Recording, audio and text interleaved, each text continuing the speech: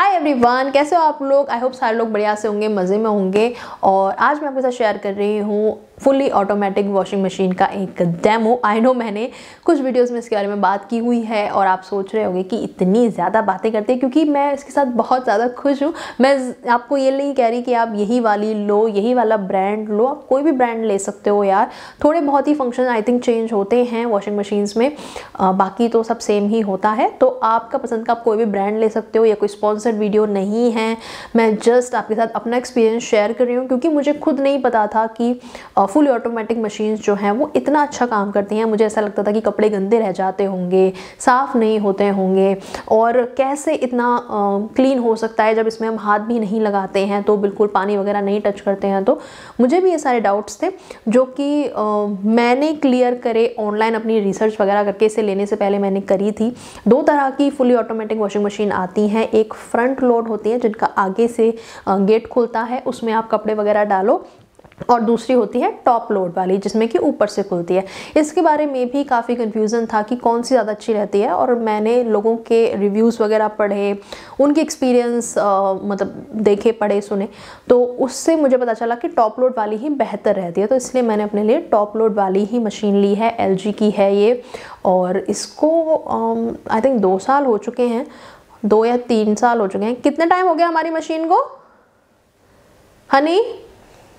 हाँ मैं ये पूछ रही हूँ हमारी वॉशिंग मशीन को कितना टाइम हो गया? आई थिंक टू ईयर्स ना?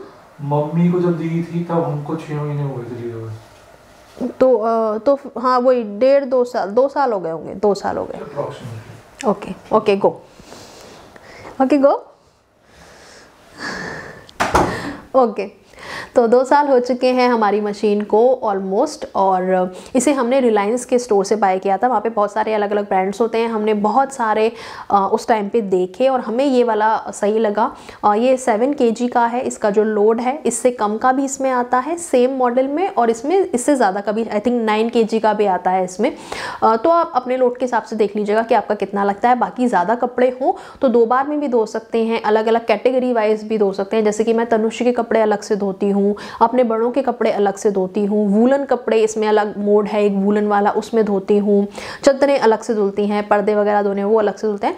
तो इसीलिए मैं तो कैटेगरी वाइज धोती हूँ तो मुझे सेवन के का हमारे हिसाब से सही लगता है। हम तीन लोग हैं और मैं रोज़ नहीं लगाती हूँ, मैं हर दो दिन छोड़ के या एक दिन छोड़ के डिपेंड्स अपॉन कि कितने कपड़े हुए हैं, उस हिसाब से लगाती हूँ।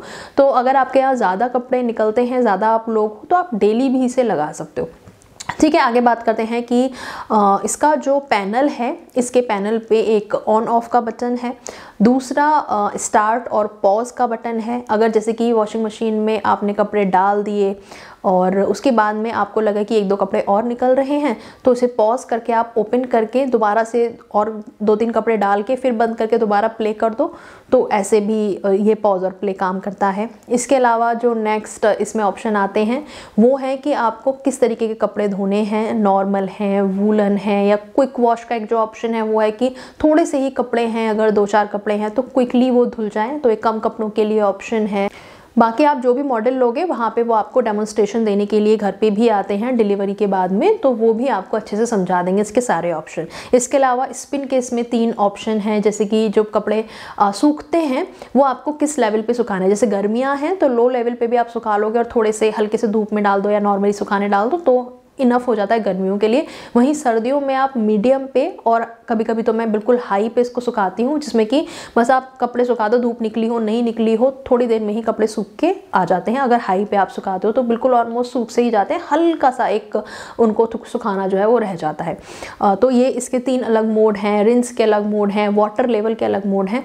अब आइए मैं आपको एक ये डेमो देती हूँ कपड़े इसमें धो के दिखाने का कि कैसे ये काम करता है।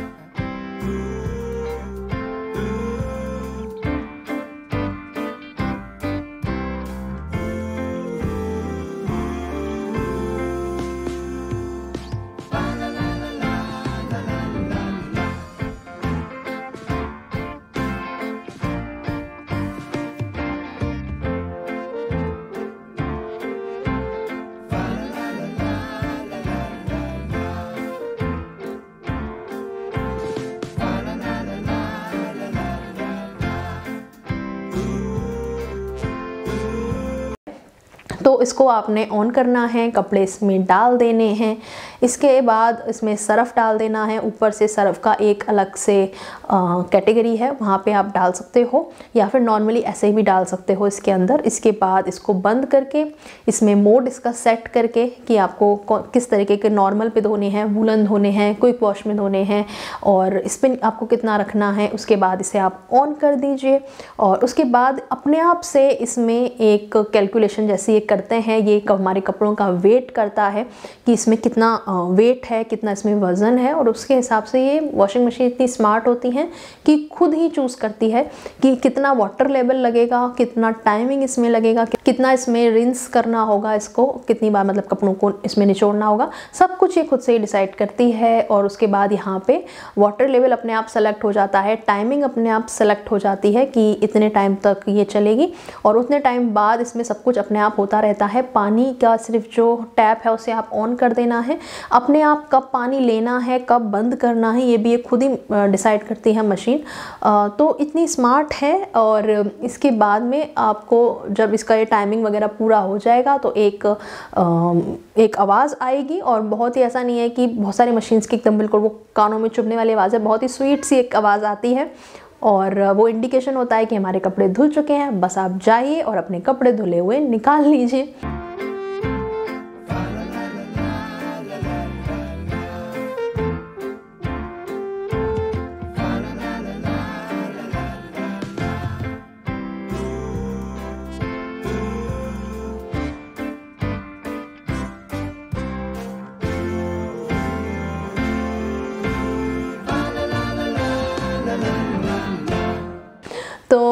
यही था छोटा सा डेमोन्स्ट्रेशन मेरी वॉशिंग मशीन का और मैं आपको फिर से बोलूँगी कि ये कोई स्पॉन्सर्ड वीडियो नहीं है।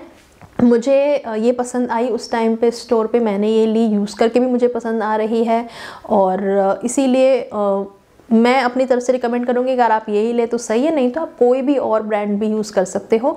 आ, बस ये है कि अगर आप नॉर्मल वॉशिंग मशीन लेने जा रहे हो तो थोड़ा सा इन्वेस्ट और करके आप फुली ऑटोमेटिक मशीन अगर लोगे तो आपको काफ़ी ज़्यादा फ़ायदा हो सकता है।